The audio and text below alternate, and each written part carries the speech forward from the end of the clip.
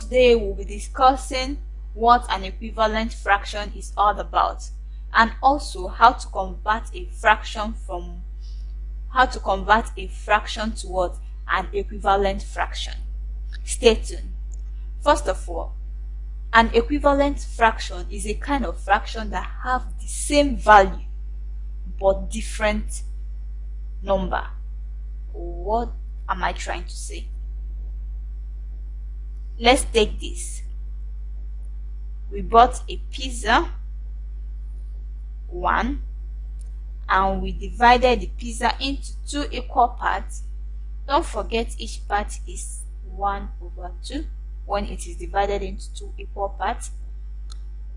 And also we bought another pizza that same day and we divided it into eight equal parts.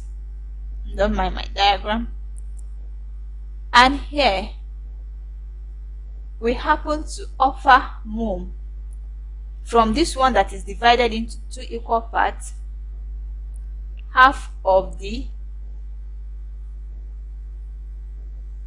pizza and here we decided to offer that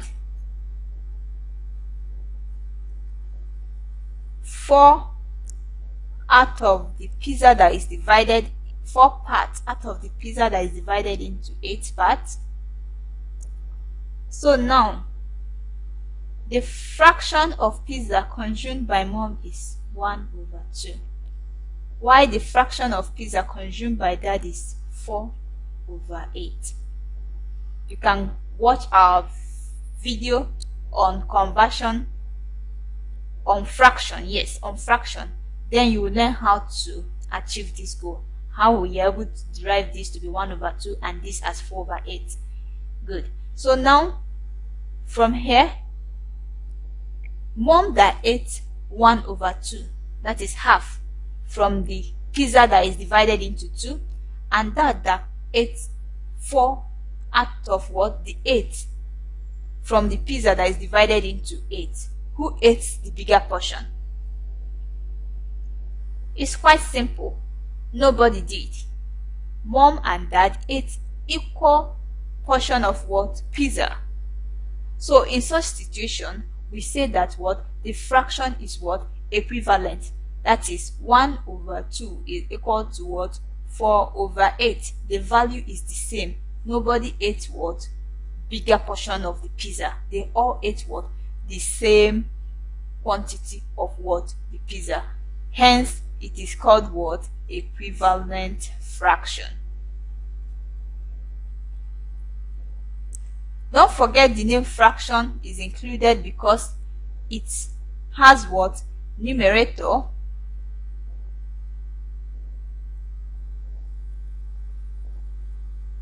and what denominator?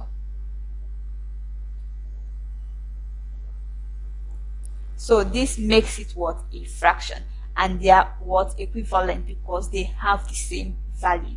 So now we'll be moving to how to convert from how to convert a fraction to what? An equivalent fraction. There are two ways of converting a fraction to equivalent. Number one is by multiplication.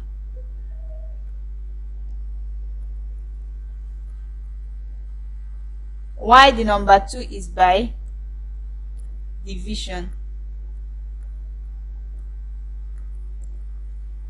Number one using number one now we are applying what? The multiplication. It's quite simple. Given a fraction we say convert it what? To what? An equivalent fraction. So all we need to do is to just choose any number at all. But the most important thing is what? Use the number to multiply up and use it to multiply the down number. Simple. So we choose 4 let's say we choose 4 for instance. So we'll be having 1 times 4 all over what? 2 times 4 Hence, our answer will be 4 over what? 8. Hence, you can see that 1 over 2 is equal to what? 4 over 8. We can take another example, the B part of it. We can have 3 over 6.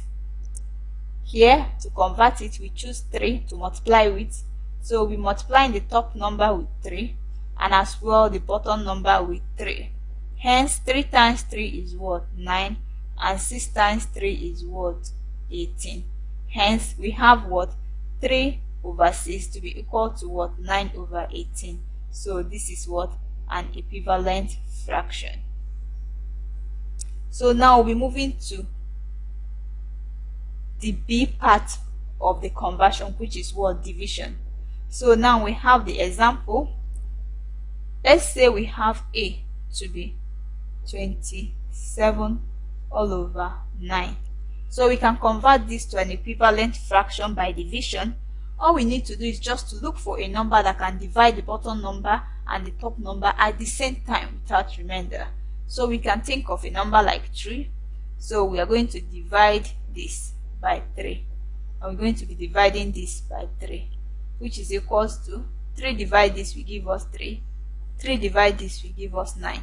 Hence we'll be having what? 9 over 3. Therefore, we have that what 27 over 9 is equal to what 9 over 3. You can use your calculator to find the final value. You see that this fraction is equal to this fraction in terms of their final value. The value that this fraction will give you is exactly the same value this one will give to you. So we can have another example. We could say convert this to an equivalent fraction using division that is 3 over 12 all we need to do is to look for a number to divide the top and the bottom number. Here we choose divided by what? 4 not 4 actually 4 cannot go well. So 4 is not what? A good option because 4 cannot divide what the top and the bottom number at the same time but instead 3 can. So we go with 3 so you can see we have we can now have 3 divided by 3 all over 12 divided by what? 3 which will give us what? 1 all over 4 that is 3 into here 1 3 into here 4 hence we have that what?